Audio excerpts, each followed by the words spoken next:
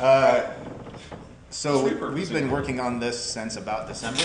Yeah, Um, yeah. We started on, uh, we were talking on the phone and said, you know, here's all the, we, we like to just chat about these are the things we're seeing going on at all the different uh, customers we visit and uh, some patterns that are working and patterns that are not working. And we, uh, I'm going to cover this a little bit, but we really kind of decided, you know, we should write a paper that explains all of this uh, in terms that IT pros will understand. Because you know, there's all this chatter about DevOps and the, the amount of information is just flowing so quickly now that no one has taken pause to actually reflect on if you're coming from a background that's Microsoft core infrastructure, what does all this mean to you? Uh, and, and lay it out in a language that makes sense and that's comprehensive uh, as to why it should matter to your organization. So uh, that's what we decided to tackle. So this is a presentation, uh, but we're releasing a white paper today, which I'll show you. I'll, I'll give a, a link to. Um, that's about 50 pages long. So uh, for 20 minutes now, you guys just go ahead and read that, and then we'll listen to your comments. but uh, hopefully that it's, it's valuable to you. Uh, I suspect that this will end up being the first edition, and that we'll come back and make changes, and uh, I'll put up my information for. for So before you get too far, who, who the heck are you? Well, let me pull up the next slide with a picture of my Jeep. So I'm Michael Greene. I'm a principal program manager at Enterprise Cloud Group. Uh, I'm actually in the CAT team, and I'm the CAT PM for PowerShell and DevOps. Uh, CAT is Customer Architectures and Technologies. Uh, it has historically been our job to drive customer feedback. So we run the TAP program, that kind of stuff, go out and meet with customers. I'm kind of the hunter in many ways now. So if you think about as our as Microsoft has become very customer focused, uh, the CAT team ends up.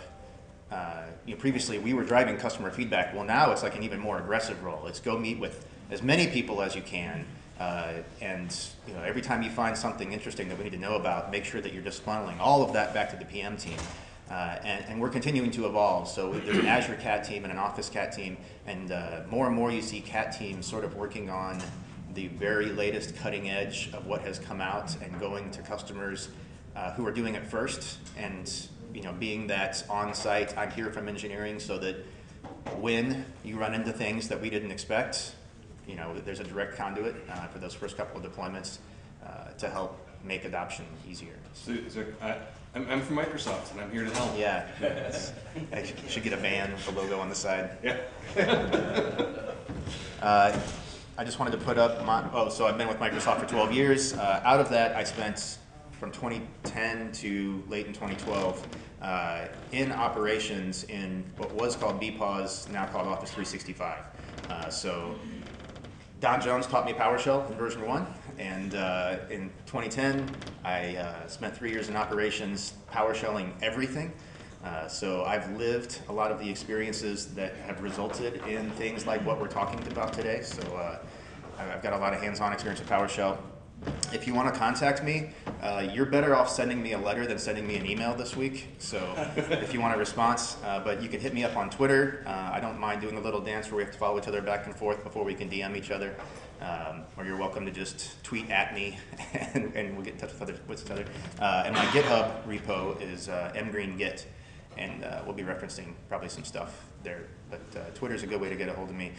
You know, when I come to this event and I walk around, for me, it's like walking amongst celebrities because, you know, I'm not really like a, a, into Hollywood celebrities, but when I look at Twitter and Slack channels and, and blogs and stuff like that, it's all of you guys that I'm reading every day. So uh, coming here and looking around at all the, the badges and seeing those names, it's like, oh, that was that guy that I see every day, and ta- I've talked to him every every week for the past 20, but I've never met him in person. You know, so uh, it's really my pleasure to be here. Great. And I'm Steve Murawski. Uh, I'm a principal engineer at Chef on the community engineering team. Do a bit of DSC and PowerShell and stuff for a few years. Uh, and Michael and I just kept bumping into each other a lot at, at community events and at customers and talking about these same challenges. And so um, he's like, hey, here's eight pages I just kind of scrawled out on my thoughts on this topic and let's, let's go and do stuff. And uh, so we started collaborating back and forth, and uh, and I just kind of rode along on his coattails uh, to uh, to help get the, get some feedback into the uh, paper and all.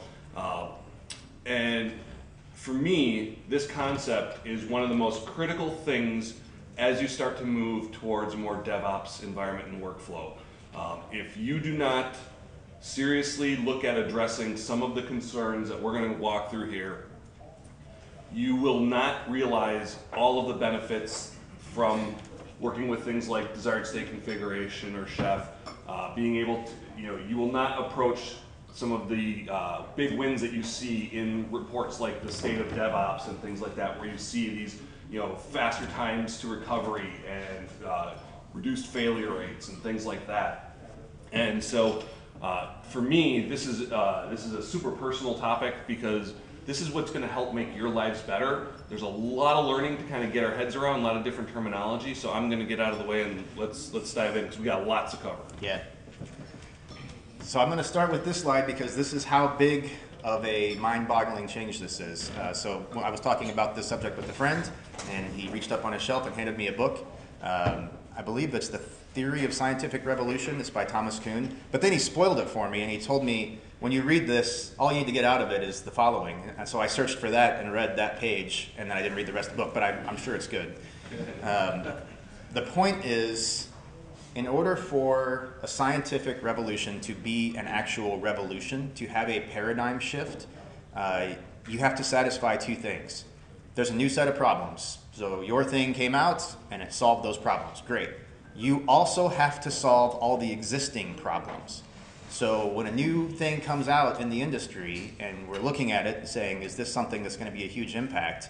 It's great. Yep. All these all these new cloud adoption and deployment type stuff, it really helps out with that. But if it doesn't help solve the by the way, I'm going to have servers that are not real that, I've been supporting these things for or that model for 10 years and I can't just do continuous deployments and knock these things over once a day. I'm going to support them like pets, even though we want to support everything like cattle, and that's going to happen for a while. It has to support both, right? The, the, paradigm shift has to make your life better for all of the scenarios in order for it to actually be a revolution. Otherwise, it's just more tools, right? So, uh,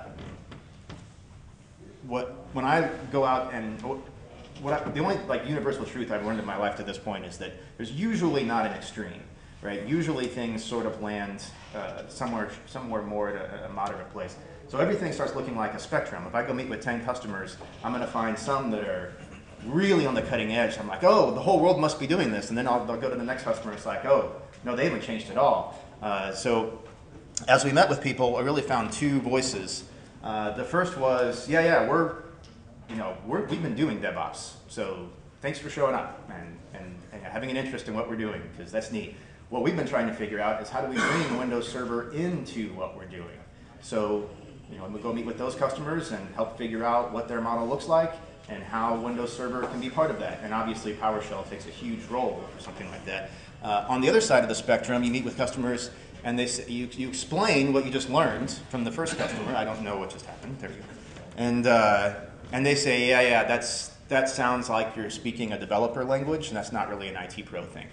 Uh, so 90 to or 80 or 90 percent of the people are in the middle, and they're just trying to keep things from falling over, right? So you can walk up and talk about, hey, there's this other way people are doing things now, and it's really interesting, and I think it's better. And they're like, look, I will look at making my life better after I'm done with all these things that make my life hard. Um, so I, I, that's, I love that animation. There's like three or four different versions of it. So we wrote this paper, and uh, it occurred to me just a second ago that I should prescribe a hashtag. Uh, if anybody wants to tweet about it, you're more than welcome to. Uh, it's live as of this morning. That short code should work. It goes directly to the PDF. And if you use that hashtag on Twitter, then I can search for it, and I can tell my boss that lots of people were interested. So uh, I'm really excited to get that out and uh, not have to think about it anymore. I'll leave that up if anybody else wants pictures, but it's just aka.ms slash the release pipeline model. So this slide I really put in for future presentations. Uh, we actually are going to make these slides public and then continue iterating on them so that anyone from any organization can use them. uh, because I feel like I need to weaponize everybody here to go back to your organization and be able to have this conversation. So I, I want to make sure that this slide deck contains the information to do that. Uh, so you probably are all familiar with configuration as code. When I say that, I'm talking about things like DSC. Um, the way that I talk about that with people who are new to the idea is that if, if you've been managing Windows servers or anything in IT, there's lots and lots and lots of APIs. So the way that you work with Active Directory is different than the way that you work with WMI and the registry and the file system and DNS, and then you've got third-party software and you've got hardware devices, and they're all different. So the idea of configuration as code and the most simple concept is that I'm going to bring everything back to just property value. And what's happening under the hood is all being performed by scripts written by people with subject matter expertise that are trusted and have given me good tools. But at the end of the day, that file becomes my living documentation of how stuff is built. So we all hate documentation, uh, but whenever your documentation is functional, then it takes on a very different role. It's something that I had to create in order to get things where I wanted them, and now I don't have to go write the paper with the tables that explains how the server was built. Uh, so you're all familiar with DSC. Uh, I will mention, if you didn't go to other sessions that relate to this, Azure Resource Manager, I also look at that as configuration as code. Uh, in fact, most of the examples I'm going to go through today are Azure Resource Manager deployment templates. But this same model, and we'll discuss this more at the end, can apply to lots and lots of things. So anytime that you see an opportunity to configure something as code and put it through a release pipeline, look at that as an opportunity. Do an investigation. Is this a way that I can make this work better? Uh, and you like to talk about this a lot, the very last bullet. I'll, I'll just let you take ownership of the last bullet. Yeah, so uh, you know, there, there's a lot of great tooling that's being implemented in the DSC space and the ARM space, but at the end of the day, none of that makes you a subject matter expert in the things that you have to operate. So I can learn Chef, I can learn DSC, I can learn ARM. That lets me spin up a whole lot of things but I still need to know how to operate them. I still need to know what the settings mean, what, what, what their things are. So nothing is going, nothing in this is going to replace knowledge about how these systems work. If you have in-depth Active Directory experience and knowledge, that is a major plus moving into these things. Even though we might not be clicking around in some of the familiar UIs, being able to deploy a resilient Active Directory infrastructure as configuration as code is going to lean heavily on your experience. You know, being able to understand how Windows services behave, especially in like cross-platform environments. Got a bunch of Linux guys come over and say, hey, I want to run this thing as a service. Uh, no, you don't. That might be what you wanted to do on Linux, but really you want to get this thing in Task Scheduler or you want to, or, or you need to create a new service that knows how to register itself and, and do some things. So you still need to have that platform knowledge. So none of that is being obviated by uh, the configuration as code space, though it may seem like it because it's kind of a simplified interface. It's you know key value whether it's ARM, whether it's DSC, whether it's Chef. It's oh I declare a resource and I give it some properties, but nothing will really kind of step away from and take away that core knowledge of the systems, the expert knowledge that you all have. It's, it actually becomes more and more. So these are the four things. We, when, when writing the white paper, we had to boil it down. And every one of these has eight things. But we wanted to get down to what are the core concepts. I'm looking at this for the first time that I can categorize this information into the, the, to pieces I can digest one at a time. Uh, so we're going to go through each of these, and the pattern, and the paper is written in a similar fashion, is what is this, and then what does this mean to me if I'm working in operations, right? Because these things all, if I mean, if, especially if you have in-house developers, these are things that they talk about, right? But these are not things that we normally talk about in operations. Uh, I'm not expecting you to read this slide. Um, like I said, the slides will be available, and this is obvious in the paper as well. Uh, but we tried to capture what are the problems that this actually is trying to solve. Um, so we're going to dig into these a lot. But uh, I hate just reading off the slides, so I'm not going to dig into each of those. So if we talk about source first, that's the first big bullet. What did we do before? Right. So I'm going to I'm going to describe change management, uh, even though we're talking about source control. So I wanted to introduce a change. right? So I spin up a VM. I'm going to prototype the change there, and then I went it and I went and I submitted a change form, uh, and then I went to my change advisory board and I presented. You know, I've, I've tested this. I'm going to introduce a new group policy setting. I've created a VM that looks like that server. I created a sub OU. I moved the machine object into that sub OU. I applied the policy there. If, if all goes well, then I'm going to uh, also introduce that policy to the OU, uh, or to the policy that applies to the whole OU, uh, and, I, and cross my fingers that things don't explode. Um, because I don't really understand what most of these servers look like, right? Because who knows if yesterday somebody RDP'd into it and made a change. I have no idea. So I need a rabbit's foot and a change form, and I'm going to see how this goes. Um, when we get to change advisory board, we're going to argue because somebody's going to say, why do you need to make that change? It's probably going to break my stuff. Um, we're going to try to catch if two of us are going to implement something that's similar, and we might, we might bump into each other, even possibly in the same maintenance window. So that's a little scary. Uh, and then, of course, we're going to go to the build documentation for that server and update it because we always do that. Uh, so the first thing that happens is we don't prototype in a VM and we don't update our docs. We just show up, well, we might submit the change form, right? And then we show up and present. The next thing that happens is we're the cool kid because we're the expert, so we don't ever even submit the change form. We just walk in, throw it on our laptop, and say, Saturday, I'm going to make this change, deal with it, and that's kind of how change uh, goes. And then arguments happen, and then at the end uh, we just present and argue, and then lastly we just argue. And it's pretty much how change management actually happens. that's what we did before. So what do we do now? We start with configuration as code. So instead of doing documentation at the end, which we never did, we just update the configuration file so that that is the documentation for how this thing is built. Um, it's also how the machine, it's how the work is performed. So if we didn't get it right, it didn't get built that way. So we know that this is right as we go. Um, included in that source control. So when I say source control, I'm talking about things like TFS. Uh, uh, we talked about subversion. Yeah, was, uh, Git was the one that for some reason was not landing in my head, and it's the most popular one. Not, not visual source safe. Right. Not SharePoint version. It could be a file share. Uh, in fact, no, I talked. No, no, it should not be a file share. It is not a file share. But I will relate it this way because it makes it a little easier to digest. um, a lot of people in this room probably have a background where at some point you worked on desktops. And you probably had a file share full of apps that you deployed using something to those desktops.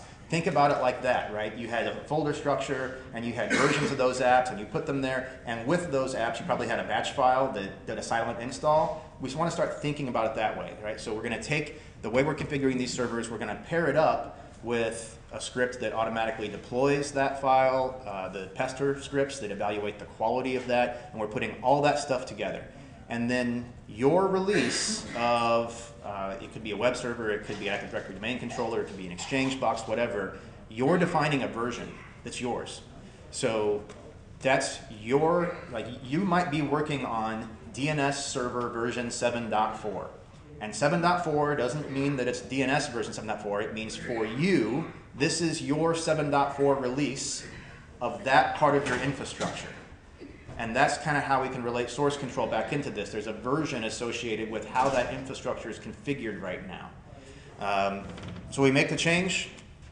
Uh, we're going to talk about testing in a lot more depth, but uh, you're actually going to run tests locally on your machine to say, yep, it looks like I've done this correctly. Uh, and then you're actually going to do a push. So if you're familiar with Git, uh, and even if you're using TFS, Git.exe will be your front end in most cases. Um, you know, you're going to do a clone to your machine. Uh, you can pull changes that people have made. You can uh, push your changes back. And if two teams are working on this at the same time, if somebody owns that repo, they can do a pull request. It means that they can take, you know, DNS 7.4 offline. Uh, you know, maybe they wanted to submit a change to you. They can submit change 7.5. You review it. It'll show you line by line what exactly changed. We're going to take a look at this. Um, here's what's most important as those things get packed in, get, get checked back in, some people call it check-in, some people call it a push, there's metadata that happens. Who made the change? When did it happen? There's comments to explain why did that happen. and you can literally hold these things side by side and see, I can see right here that now, you know, we were static IP, now we're dynamic IP. Like all of these things are side by side in a window, and you can see exactly when that happened. The State of DevOps survey uh, that's been going on for the past three years, the uh, fourth year of the survey is going on now. Um, Dr. Nicole uh, Forsgren has been doing uh, research on the statistics based off that survey. One of the findings that they had was that that change argument change control board thing there is way less effective than source control and peer review of changes as they go out into your infrastructure. And so there, there's there's a uh, uh, there's a paper that's out there. Um, I will be blogging the link to that uh, probably later today uh, if you want to dive into kind of the science of it. But there is actually there's good statistical information that shows that peer review of changes in source control is way more effective than any change control board that's out there.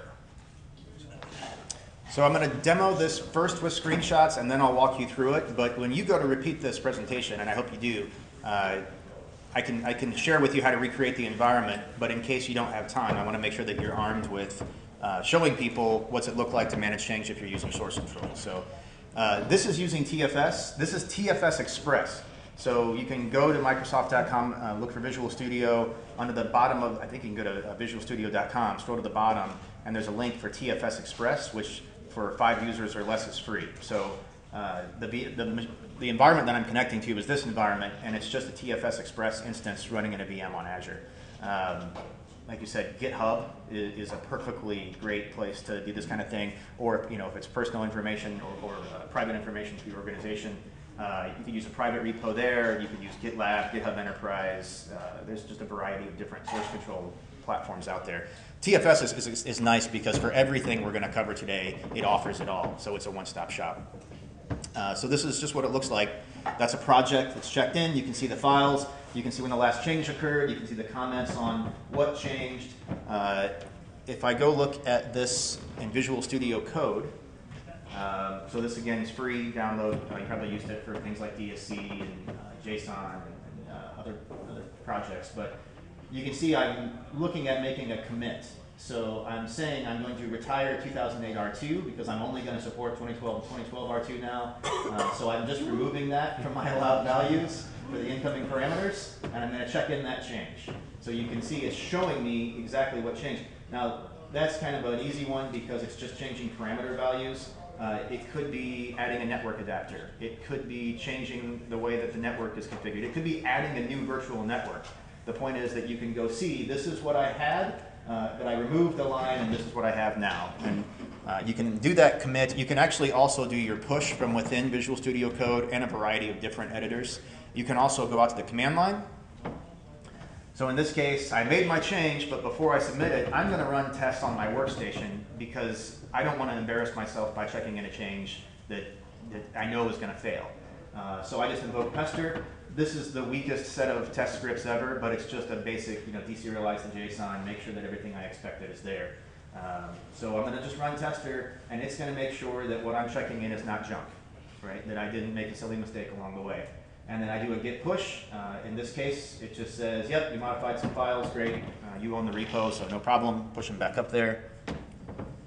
At that point, I can go look at my uh, source history in the browser. I can see, yep, I retired 2008 R2. Uh, and so if anybody ever wants to find that, it's easy to search for. And if I uh, drill into that commit, I can see once again in the browser that, yep, this is now stored forever. I can always go back and see exactly what changed when. Uh, I was logged in as TFS1, so that's who. Uh, it was Tuesday, April 5th at 5.54 p.m., so I can see when, and I can see uh, any comments I wanted to add. So the next thing that happens is builds. So what did we do before? Uh, we waited after that change control meeting, right? And we came in on Saturday because we hate our personal lives. Uh, we made sure that all the servers we were going to work with are docked in RDC man so that we can remote desktop into every machine where we're going to manually make change. That was always my prep for going into the change windows. Do I have my RDC man file all set up, the password stored, stuff like that. Uh, so I connect to all the servers, I make changes. Then I have to do a reboot, which is where I sweat it out for you know 30 seconds or so, uh, or four minutes if I'm waiting for BIOS to go through all the checks. Uh, hopefully I get everything in order, and then uh, after I do a little dance for, for good luck, then I go through and manually make sure that everything still works the way that I think it should. And especially, what's that? You us Uh, that? not maybe uh, at the pub crawl tonight. Okay. I'll break the, change window tribal dance. Uh, so that last one is the scariest part, right? Validating that we didn't break something.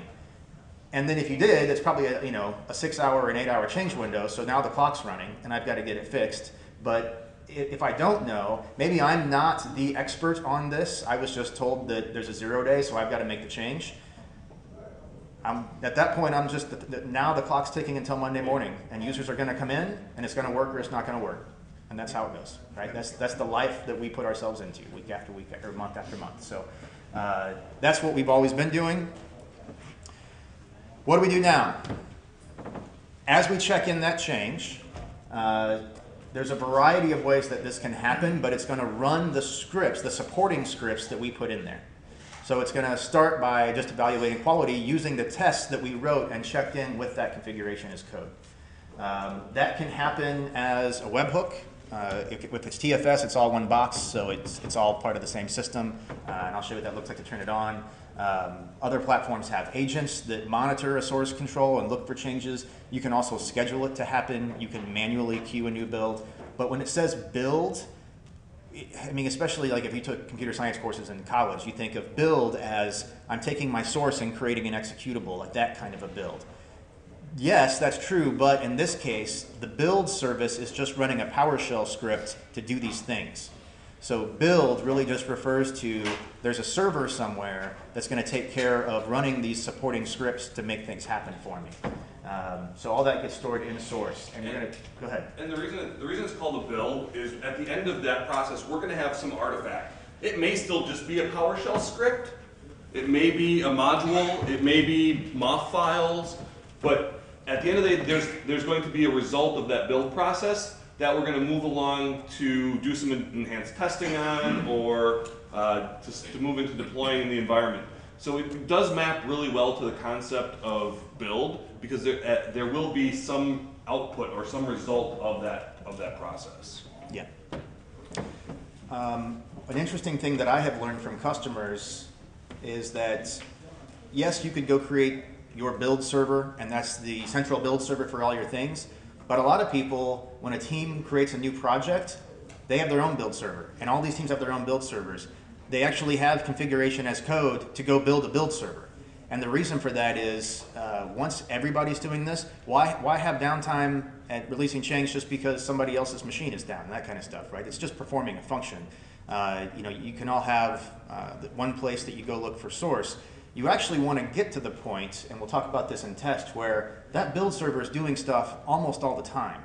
Um, and we'll talk about that more in test, but think about that as you can really design this for yourself, which means you don't have to change the whole world to make this work, right? You could have this as an instance that handles just one project that you're working on. Um, this is also a really good opportunity to look at JEA because now you're performing everything automated.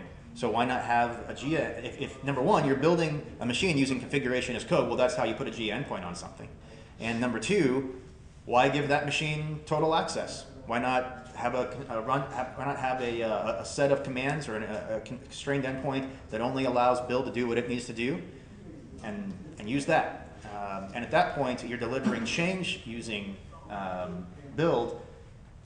You could have constrained endpoints for doing maintenance activities. So it's it's not to say I, I don't want to confuse this with I'm only going to do this, and uh, now if there's an emergency, I'm out of luck right? So you, you do want to get to the point where you're not making random changes because then it didn't have an opportunity to go through test.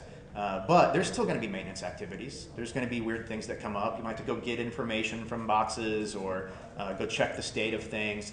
Uh, so that's an opportunity to use things like Azure Automation, use JEA on the machine, and build out this platform. And uh, since I don't mention it later, and I don't think Joe mentioned it earlier in the week, Azure Automation can be managed using ARM. So you could actually check into source an ARM template that includes a script that should run and when it should run using Hybrid Runbook Worker in your environment. Uh, so you can coordinate all of these things together. We have a question. Oh, I sorry. I was just gonna say, what he described, it kind of fits in well with my experience in that, you know, this is the model of what it looks like at, at the end point, right? But we're probably, you know, somewhere on the continuum, or maybe at the very beginning of this, so we're not gonna have all these pieces. Yeah. So as we, as we start to implement one thing, right, then we get that working right, and then we can, oh, let's, why don't we add, you know, Pester, or why don't we add, you know, JEA? And, and, and so over time, you're evolving, you know, Exactly. towards that, this end goal. Yes, that is exactly it. And, and you, and you start with these things pretty much in the order in which, in in which Michael's describing them. You start with source control, that, because that ends up being your single source of truth. Then you start adding your build process, and that's where you can start plugging in a bunch of other stuff like what he's gonna continue talking about here, so. I'll show what build Yeah. looks like and then we'll get to the big one. Uh, so when you go to demo this, what we're really going to demo is, uh, and I'll do a comprehensive live demo at the end, but trigger a build, verify that things happen, look at the report. Right? So that's, that's basically what we're going to do. Um, so in this case, this is actually the script that would run. Uh, this is formatted using psake. Uh, in the live environment, I'm using a new version of PS Deploy uh, to replace this big code block, and so my, my live demo, it's a little bit cleaner.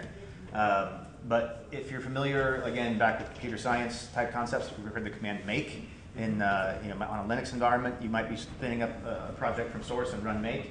So uh, P-S-A-K-E, pronounced psake, but the concept is to use a DSL that's uh, similar to make or rake for Ruby uh, and have that in PowerShell. So uh, psake is an awesome project to look at, and it allows you to chain together a lot of really complex tasks. Uh, that's a lot to grok uh, at just a glance, but um, it's definitely a project to look at. For my build definition, which just means what are the things that are going to happen whenever this build runs, I just have a PowerShell script, and it's going to kick off that psake script. So I'm literally just go run that, pass it arguments, um, and the arguments are just coming from stored variables. So just like in Azure Automation, you can store assets, store variables, store credentials, things like that. Same thing. Uh, so my build literally is just run a PowerShell script. I have two steps because TFS understands how to collect published test results. So I have Pester output to XML, and then this will go pick it up and make it into nice reports for me. And that's like a free bonus. Um, what, what we want to get to, and Mark Gray and I have been talking about this, we want to publish a project. Um, you should really be able to sanitize this to the point where you could take that project and just make it work in any build system. It could be AppVeyor, it could be uh, uh, Jenkins, it could be Travis, it could be TeamCity, it could be Visual Studio TFS, it could be locally on your machine. You should be able to just run build.ps1 and not have to worry about it, right? You might have incoming parameters, but that's about as complex as it should need to be. Um, I just wanted to show quickly for this particular project, I've got a whole bunch of stored variables. That's just so that my scripts can become as generic as I can make them. And then uh, I really want that to be scaffolding that I can just, if I want to go create a new project, I shouldn't have to reinvent the wheel when it comes to what does that look like to chuck it in and have build run it and have tests run it and run a deployment. It should pretty much just be able to pass it different parameters and it should just handle it on its own. Um, and, and TFS is a good example where you can encrypt information as it's being stored. Uh, this is where for triggers, I can run it by clicking Q. If I check that box for continuous integration, then whenever I do a push, it just runs. Um, and if I click scheduled, of course, then I can set a day and a time. Um, yeah. Um, so I'm a newbie to PowerShell, but so please pardon my ignorance. Uh, how different is psake from MS Build? Uh, you might actually know that better than I do. Very, uh, so, uh, just from a standpoint of, uh, flexibility or, uh, What was the question? Uh, the different, uh, so the question was, what's the difference between psake and MS Build?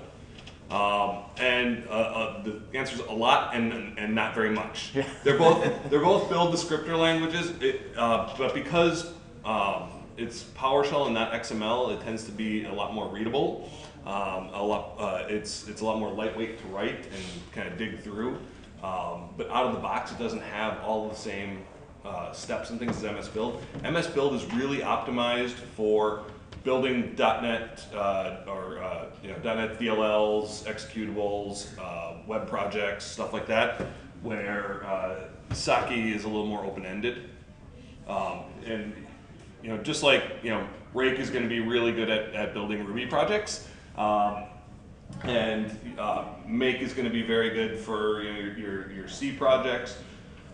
Uh, psake's really nice, easy addition to uh, not only .NET projects because you can call MS Build tasks through it, but you can um, you can also uh, easily do a lot of your PowerShell type testing. Easily get into PS Script Analyzer and Pester, because you're in PowerShell at that point. I should call out for Saki. So you see, task depends. So task test depends on clean, which is, just means run a script to make sure, because this is always running over and over again in the same box, clean up anything that would have been there from the last build. And then deploy depends on test, and then uh, you know test depends on clean. So when this runs, default depends on deploy. So if we follow this backwards, it means if your tests pass, go ahead and deploy. And that's why it's interesting to say if you check that box for continuous integration, it means you edit the file on your machine, you hit save, type in your commit, hit push, it's going to go to build. If all of your tests pass, you're going live. Right? So you could literally just from your workshop workstation go there. Now or in most to your dev environment, or you're going wherever wherever that target is. Exactly. I'm like, this is this is that's the most extreme that I've ever seen it. In fact, I don't know of anybody that I've seen go that quickly into production. There's probably uh, are for some projects, but Yeah, I think we've, we've, we've got some customers. yeah, nice. In most cases, it gets the output. So in this case for DSC, maybe you've got them off, and then somebody eyeballs it. Uh, what's interesting, so we'll look at PS deploy in the last section. I'll, I'll I'll come back to that section. So I, I just want to uh, come back to that point. Is that you know, hey, that that's kind of extreme, and you know, I don't know a lot of people that that go all that route. But I'll bet every single one of you know somebody who's downloaded a script off like TechNet or something and gone and run it in production, and that's got even fewer quality gates than what we've just demoed here, it's true. right? So this is more rigor than what a lot of us are currently doing today in our environments. It's Very true. So uh, it's not all that crazy and uh, Sure. So I noticed that you have the test in the beginning, right? So would you consider, like, you, you talked about the fact that after I do this, this deployment, right? Now I gotta test maybe my apps and different things like that afterwards, and I'm not really seeing that as a step. Is that part of my code? Yes. In terms of my configuration code? what's going on there, but it, it's gonna have like, okay, here's the, you know, five applications, you know, tests that you wanna do. Exactly. That's the next section. Okay, right. But that's exactly right. Your, your head is in exactly the right place. Uh, in fact, that's the most important thing. I just wanted to show real quick, I just love this, that as you run the build, when you click on console, there's a PowerShell window right there in your browser showing the scripts that came from source control. Um, and everything's just running right there in your browser and you can watch it. And it's like, oh, this work that I did is happening somewhere. Uh, and I can do that all day long. So you might have a build fail, no problem. You can see the output, so you can go back and look, uh, and you might have it send you a notification. You might just go log in the website and see it, but uh, now you can keep track of, okay, this worked on my machine. Why isn't it working somewhere else? Uh, and help troubleshoot those types of things. Uh, let's see. You also obviously can have builds succeed. Uh, you can. What's nice is when you come back and look at this later, you'll see each of the steps where it went and got from source, it ran psake, and then it published test results. So you can double click on those and actually see the full log output in the history of all these builds. I was going to say, I think I got a screenshot of that. Yep. So if I go look at, there's the history of my builds, and then we get the test. So uh, everything that has happened in this environment, you can go back and see what it was. So testing, what do we do before? Create our VM, install the OS, probably installed an app uh, or, or built a service of some kind. Um, we tried to change. Um, could be manually, could be, yep, sure. I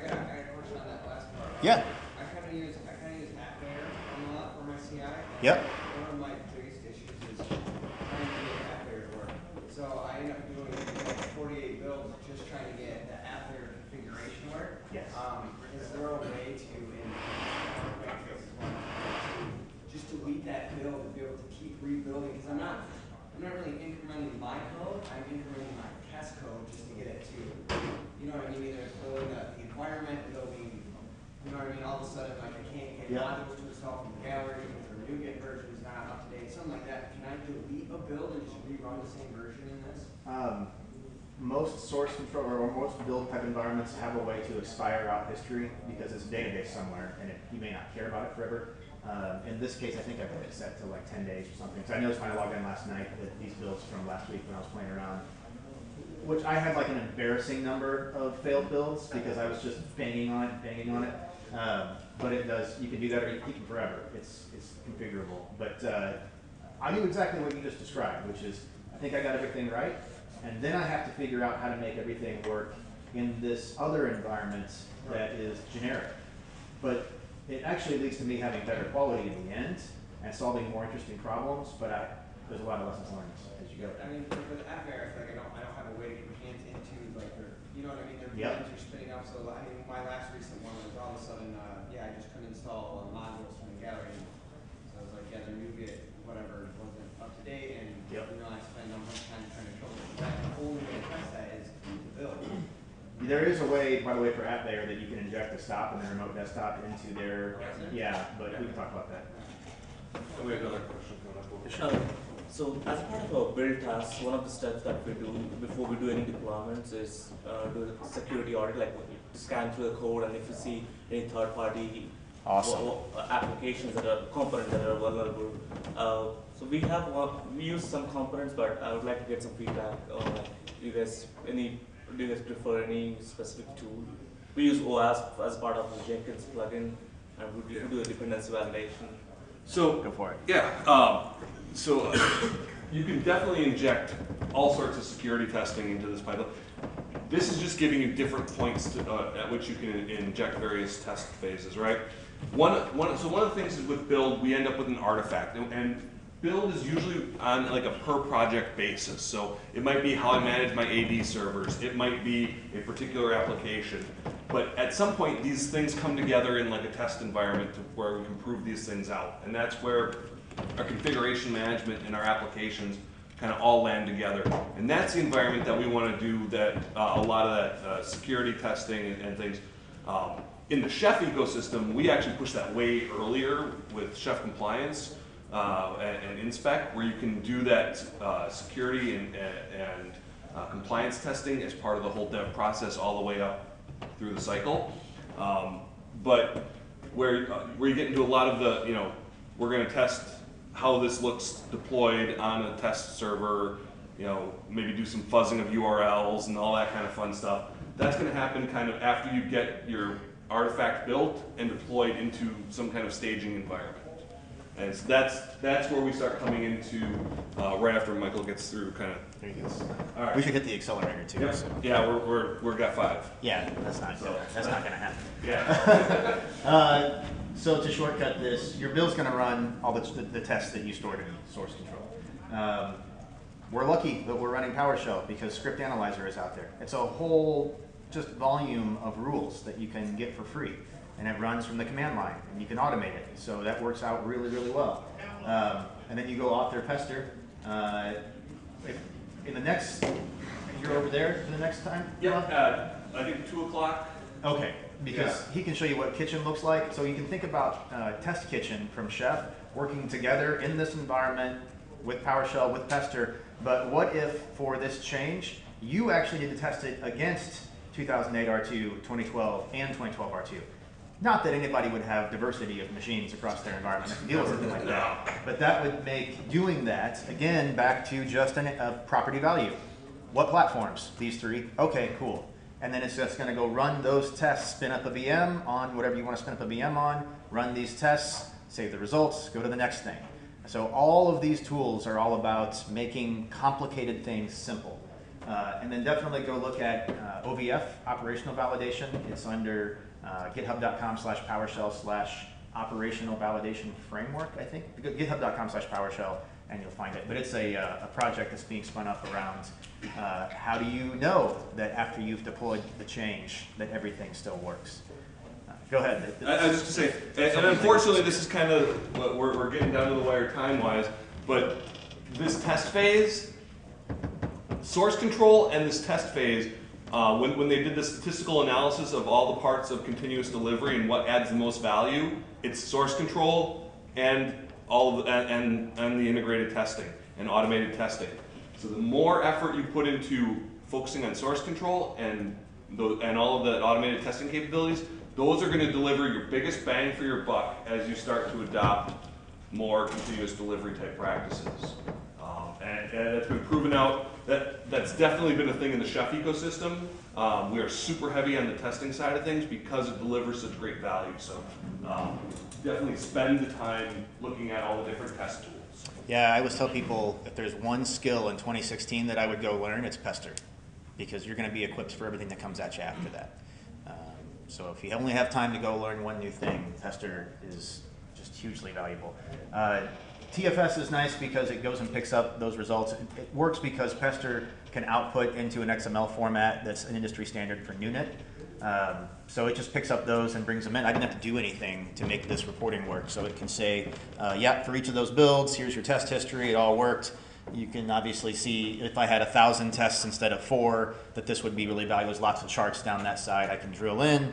I can see the results of any one test, uh, and then I can create bugs. So I can say, Steve, you checked in junk. Here's a bug back to you that uh, this doesn't work right. So That never that's all for free. Uh, so I'm skimming fast. Release is interesting because uh, it's the most exciting thing to me, but it's the least interesting part of the demo. Uh, so it's where I've been putting all of my thoughts lately. Uh, but as far as demo is concerned, if you're running this, it, something got released, so it's not that exciting. Um, but you know, basically, it's gonna something's gonna go create the environment if needed. Um, if the server if it doesn't already exist, it's going to uh, manage any changes. So as part of build, you might have in that script go out and configure a load balancer or go create a new volume on the SAN, something like that, right? So um, any environmental changes happen there. Uh, what we did before, obviously, was go do through all these things manually. And that would include, now that I've built this machine, I'm going to go to Windows Update and get it fully patched. I'm going to make sure that anti-malware is there. Uh, I'm going to onboard into our backup and monitoring services, all of those. It's why it took us three weeks instead of three minutes, uh, because we did all those things manually. And then we announce a go live, right, which is, again, where we get gray hair. Um, so what do we do now? Build again, just that's another thing that it takes care of. Um, so everything that we need to do to make that release happen is stored in our deployment script in that source control. And it's tested using Pester. We've tested it locally from our workstation. Uh, as part of the build server doing things, you might have multiple environments. So you might actually do a release to a quality insurance, a quality assurance environment, and then that's it for the automated build. And then you go back and trigger something else that goes into production. Um, I've seen a variety of things go through this. Uh, that's what we talk about promoting through stages. You might have a, cut a cutover scenario where you have a green blue and you use a load balancer. So we're going to deploy to green and then flip from blue to green, things like that. Um, just to do a quick demo since we're now out of time. Uh, I'm a huge, a huge fan of PS Deploy. Uh, so Warren is here. I think this project is absolutely awesome, and so uh, we've been working together on. He's just a champion with PowerShell and has been making some interesting changes to make it work like uh, Pester and uh, psake, so that all of this is just one cohesive story. Um, but I contributed an ARM plugin so that it could work with this uh, which I, uh, I think I broke last night, so my demo fails at this step. But uh, you can see it's the same concept, right? Deploy using ARM from that template to that resource group. You can do tagging, so your tag might be production versus QA, which means it would just be a variable that you could use uh, from your deploy to say, I'm going to just set this for QA and then tell PS deploy, go run all the, the deployments that are tagged for QA or uh, you know that are tagged for dev or that are tagged for project name or whatever. Uh, one of the things I can't wait to try is use this because you can have these things depend on each other and have Azure and Azure Stack deployments tied together. So I'm going to release a service onto Azure Stack, but I'm also going to have it go create an Azure automation account put my modules and configurations there, and then bootstrap those machines to Azure and do a one-stop hybrid deployment. Uh, I can't wait to prototype that. I, I, all of these tools make those really complex, mind-boggling, you know, new things very easy, and I can now take the lessons I've learned in the past and bring them forward. So, uh, just to start wrapping up, these are the since we're since we're at PowerShell Summit, learn Pester, learn psake, learn PS Deploy, go take a look at OVF. As you get further down the line, there are so many DevOps tools. Uh, so as, as we update this slide, we'll continue growing this list. Um, and in the white paper, we actually call out a wide variety. So. Yeah, and one thing, um, I have a session on uh, essential skills for a DevOps world or something to that effect uh, later this afternoon. Michael's going to come join as well. So uh, one of the things we're going to talk about is build pipelines and the importance of, of continuous delivery and testing and all that. So we can definitely have more time to dive into some of these concepts. I will Uh, make this probably my last slide. yep. Um, this is a huge point, so I just want to land, land this uh, before we leave. Yep. Coming from an infrastructure background, it's in our nature to say, I found a new thing, this is my thing now, and I'm going to focus on that. And there's a couple things that make this type of platform work. One is you got to get buy-in, right, from others in your org. You can't do this alone because it only works if everyone agrees that the tests have to pass before we move forward. Uh, the other is keep your options open. So in the paper, we talk about things like how do you use this together with ConfigMan and what's it look like to use this together with group policy? Because you're not going to cut this over overnight. And it's your job as you know, you, you are the people, right? You- You're, you're the people in your organization that they look to as the lead architect that says, how do we do this, smart guy, right? And the answer is, it's not going to be a, okay, well, I stopped using this tool and now I'm using this tool and now we're a lot better, right? That's just a tool change. It's a process change that makes this so valuable. Uh, so we don't want to look like this with the precious. And now I've got my build server, and I'm just linked to this. That's all I care about now. nope, you still got all the tools you had before. It's a process change, and you can bring all these things forward, and that's how you be the hero for your organization and help them get into this new world. So, uh, yeah, uh, we'll talk about this, uh, applying this same model to everything and making it visible, and uh, it should be a success. So we'll continue on to such that. So, thank you.